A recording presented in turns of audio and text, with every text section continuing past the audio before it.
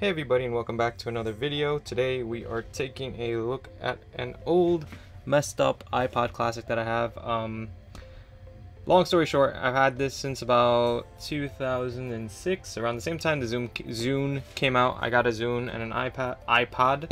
So this is your standard 30 gig model. As you guys can see here, it's kind of busted, won't power on. Had it charging, so usually the symptoms I have are when I plug it into a charger, It'll power on, it'll work, and when I unplug it, it'll die.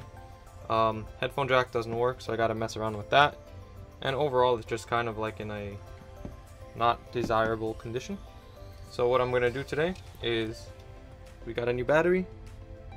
So we're gonna upgrade the batteries. This is a replacement battery for the it says replacement for video battery and it's for a 60 or 80 gig but I did search up using the model number of the 30 gig and this will work I got a replacement back cover for it. So, you know, I'm gonna put this bad boy, put everything in there. I got a replacement front cover. Um, I didn't realize that it didn't come with a uh, spin wheel, but I guess that's fine.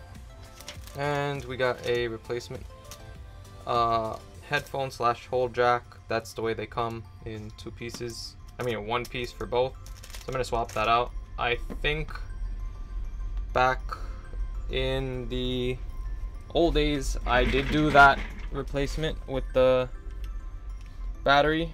Um, not the battery, the um, hold jack. So I'm gonna do that again. And of course, I think all we're gonna need are these two tools that came with one of these guys. Um, so yeah, we're just gonna take it apart and swap those parts out and hopefully this is gonna go better than the rest. So yeah, let's just get started. So I think the first thing we gotta do when you open it up is you want it you want the hold switch to be on hold so when you switch it it's going to be orange once again this isn't a tutorial so don't really you know depend on what I say um, there are many guides. Yours probably isn't going to be separated here like mine is but you're kind of gonna have to you're gonna want to go around and with one of these tools and open up the clips so that's exactly what I'm gonna do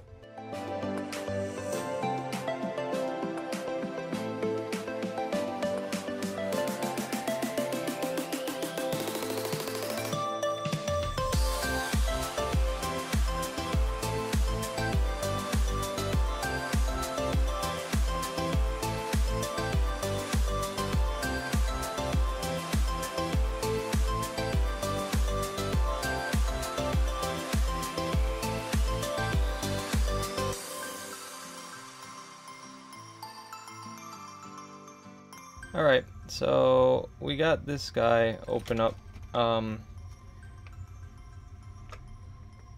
so a lot of my stuff is already loose, which is kind of unfortunate. So usually you want to unhook your battery connector. Mine is already unhooked for me. Um, I do also notice that uh, I'm missing two screws for my uh, my faceplate. So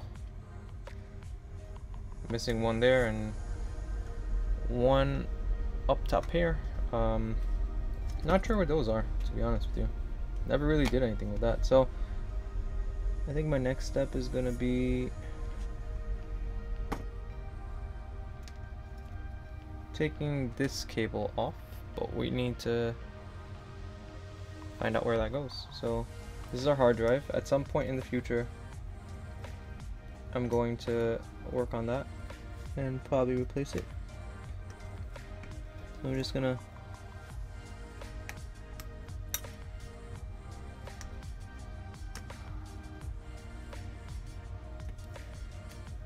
unhook our back case because to be honest we don't really need this and all of this can stay you know in the position it's in just because like you're not going to really take any of this apart if you were to change this. So there are tools to um tools. There's a replacement that you can get that will essentially put an SD card uh, reader in replacement of this hard drive and that'll do its thing. But I'm gonna do that in another video, maybe because it is quite a bit of money. Um, it's about 60 bucks for that, and then you can just use any SD card. But depending on the size, you know, that might cost you a pretty penny. So I'm just gonna unscrew the screws that I have left. Um, so I can take the uh, screen off.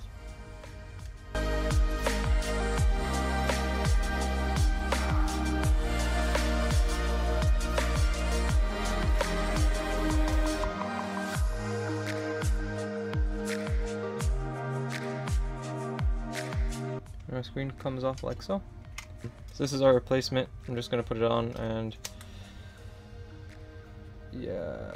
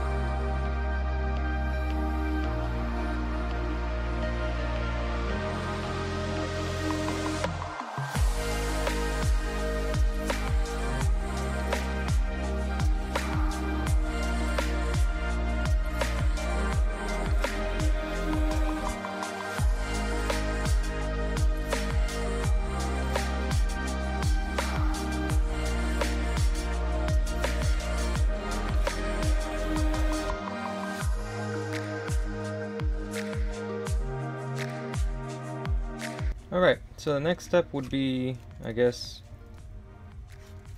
fitting parts in here. So I took out the bottom of the old iPod from the old case, so this guy, and it's held in by two silver screws, so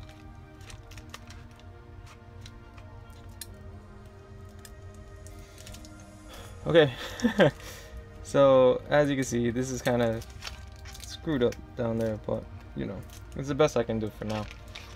Um, I'll look into getting a replacement for that. So the next part is putting in this headphone and hold switch. So I did get a black version. Originally, the iPod had a white one, but I think the black one would look a little bit nicer. Once again, I don't know what's going on here, but the trend of the day seems to be that I'm short on screws. So, once again, I got not a lot of screws.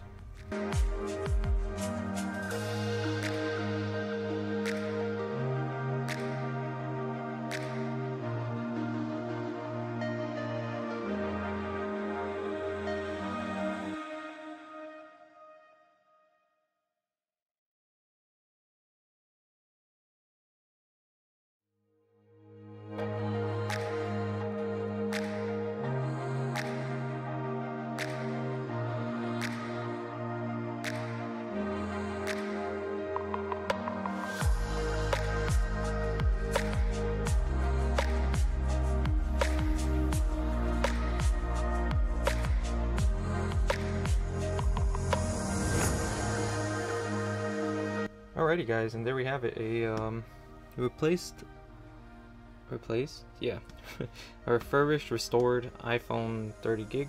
Um, it's kind of weird to see that the new faceplate is almost is just scratched. I don't, I'm not a fan of this glossy. Same with the back. So the back says 256 gig. I'll leave a link to everything down below. It's kind of also messed up already.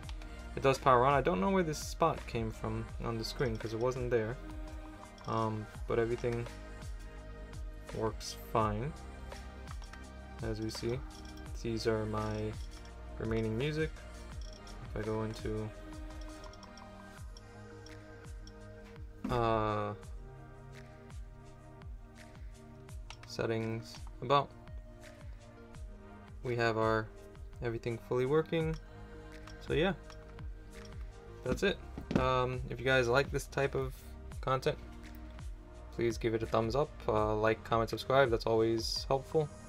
Um, any questions about an iPod or doing any of this please leave it down below. As always um, thanks for watching and I will see you guys in the next video. See you